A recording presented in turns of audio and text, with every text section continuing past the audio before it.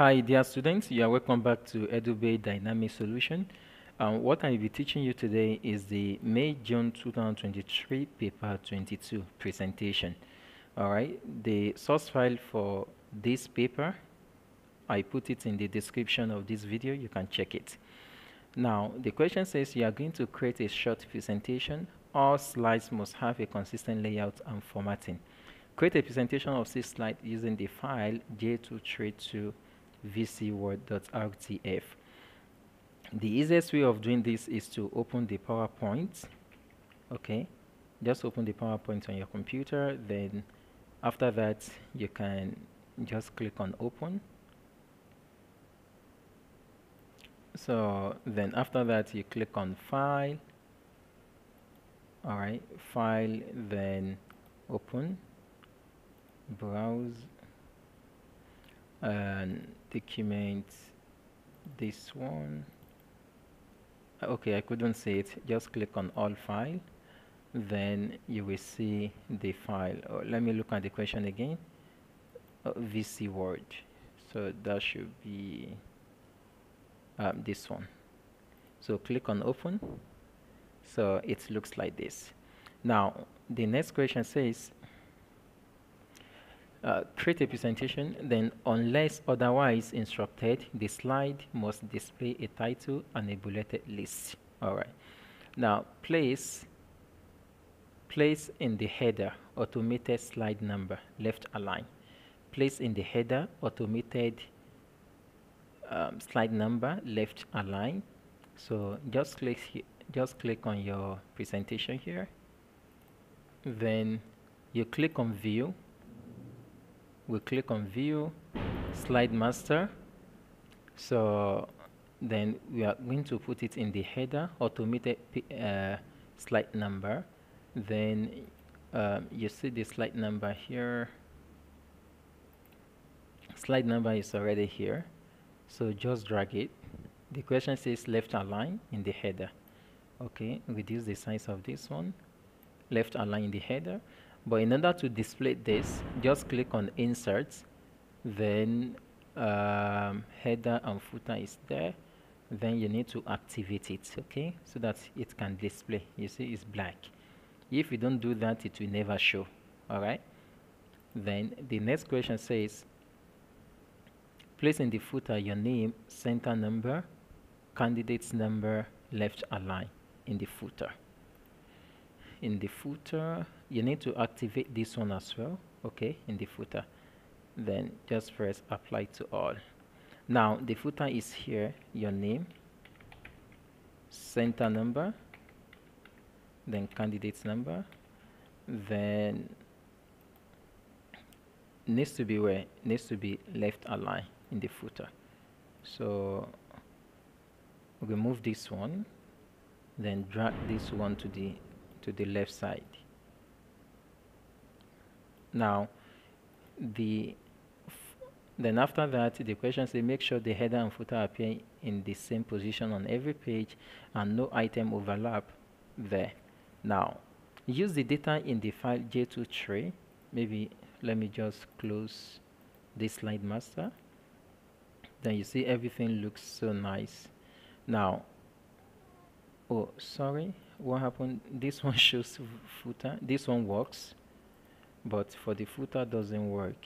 Let me check it again. Uh, what is the issue? Um, slide master. We click on the first one. Oh sorry. I was actually editing the last one here. No no no. I supposed to be editing the first slide. I supposed to be editing the first slide.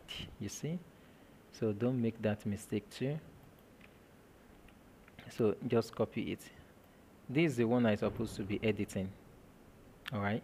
Or to be on safe side I can just edit this one again. Adobe XXX then one two three four. Let me put it in the left.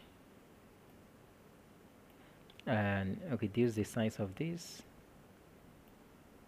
and put this one here. Okay let me check it again. Inserts header and footer. Okay both of them I activate them already. Apply and then close it. Okay everything should be okay now. If you go to next slide you see everything is okay. Let's now go back to the question. Use the data in the file j2322 app.csv what's the data? Let's open that one app.csv okay this is the data. Let's open it. In my own case open with excel. Then what do we need to do? To create a vertical bar chart to show the number of download for each app. To show the vertical bar chart. So click here. Close this one so just click here then um, double click. Okay the rank for each app. According to the question the question says create a, to create a vertical bar chart to show the number of download for each app. The number of download this is the download for each app. So which means we can choose this one all right. Choose this. Hold control on your keyboard. Right click on this one as well. Each app and the number of download. So you click on insert. This is a vertical bar chart. Vertical bar chart. Oh, oh sorry. Or oh, you can choose this one. Yeah this is a vertical bar chart. Click on this. Now after you've done this chart must display only the app title and download millions. App title and download yeah. That's what we use app title and download all right? Then uh, display with labels the app title on the category axis app title on the category axis where's the category axis this one app title. Yeah this is a category this one is a value axis this one is a value axis this one is category axis. So what we do is right click you can show axis title. So what do you type here? You say app title app title.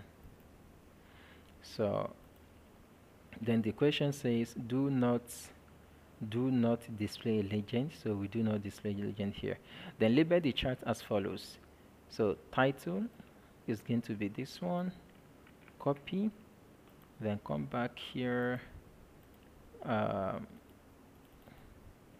paste. Now then value axis is millions. Value axis. You click here this is what we call value axis is million all right. Then the next question. Display only the data values along the top of each. Display the data values along the top of each bar. The data value along the top of each bar. So you can click here data label. Check this one. You see? It shows on each bar. Then next question so format the value axis scale to display 0 minimum, maximum of 15, increment of 3. So in that case what we do is right click here, right click, click on format axis, format axis, 0 minimum, the maximum of what? Maximum of 15, increment of 3, maximum of 15, then major major means increment increment of 3 Min minor no you don't need to do anything here.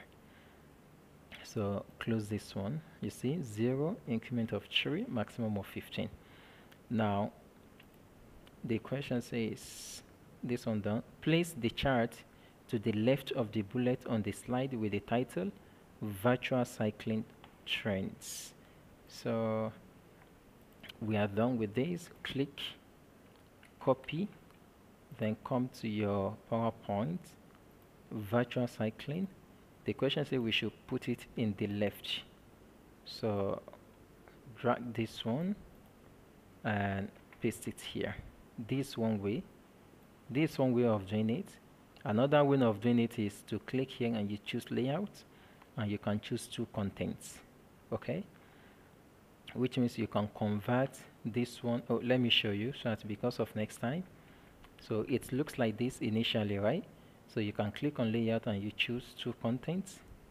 All right? So on this one you can paste the chart there. But the question says it needs to be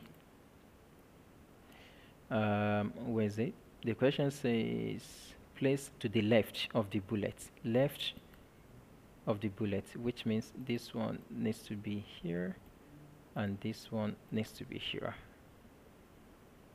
So there are many ways of doing things by the way. It doesn't matter how you do it. The most important thing is you get the correct answer. All right? Now the next question answer uh, all data and the labels are fully visible. No words in the chart are split no words in the in the chart are split. Yeah everything looks okay. Nothing split into two. And all the data and labels are fully visible. The chart and its content do not overlap any slide item. So nothing overlap by the way. Yeah it is it's not so it's not like this. This one is overlapping. So nothing like that. Everything looks okay. Now on the slide with the title virtual cycling trend. Okay on the same slide what do we need to do? Create so create a square shape action button and position this in the top right corner.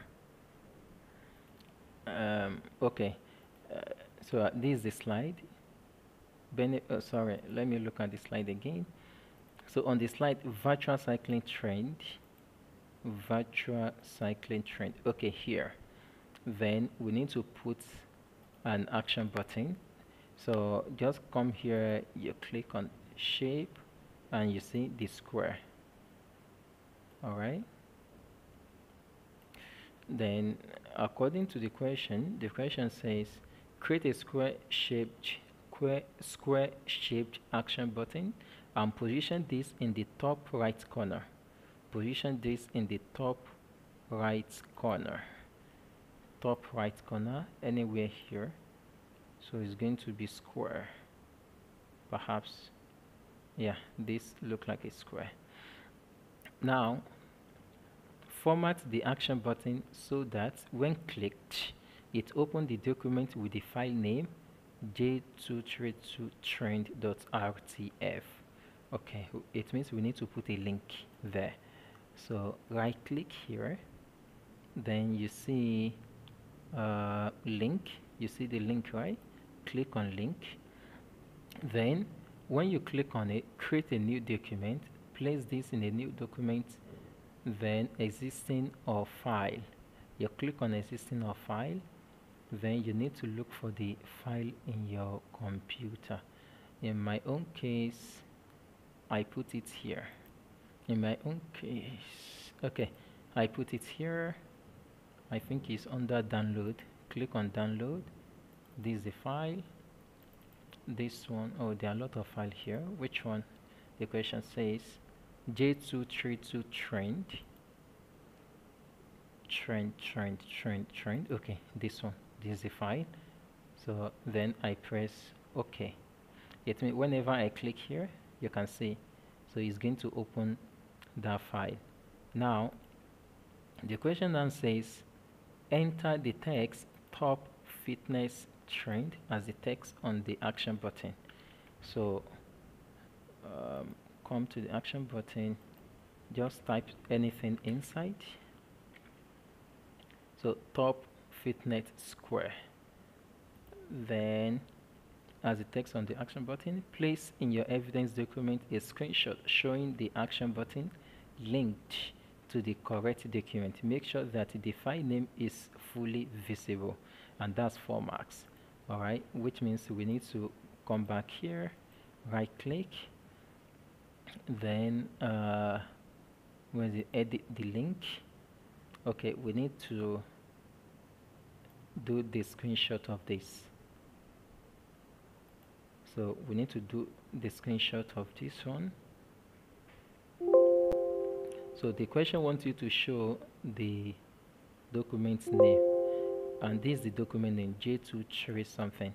So now print screen then you come to your evidence file and you print you put it there. Then as usual quickly reduce the size of this to something like this. Okay. This.